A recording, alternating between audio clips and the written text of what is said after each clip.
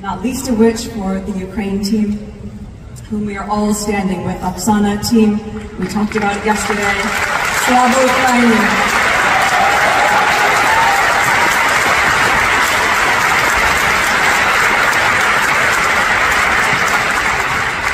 One thing I know for sure is that every single moment it has taken to get here will be worth it.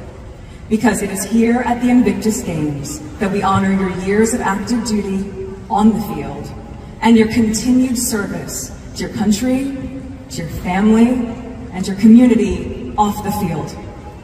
Thank you so much for your service and thank you to all the family and the friends that are here who have been supporting you along the way because this is service, this is dedication, and this is the Invictus family.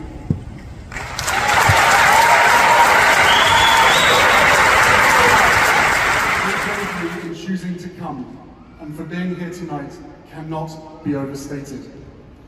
You told me yesterday when you decided to join us despite all odds, you said you came to be on this global stage, not simply to show your strength, but to tell your truth, the truth of what is happening in your country. You know we stand with you. The world is united with you, and still, you deserve more.